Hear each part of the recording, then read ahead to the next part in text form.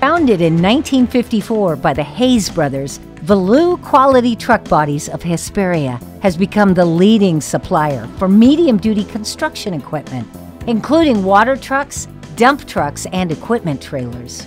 Under the direction of Roger Hayes since 1984, the company has grown from a small job shop into a global equipment company with over 250,000 square feet of manufacturing space in California and Texas.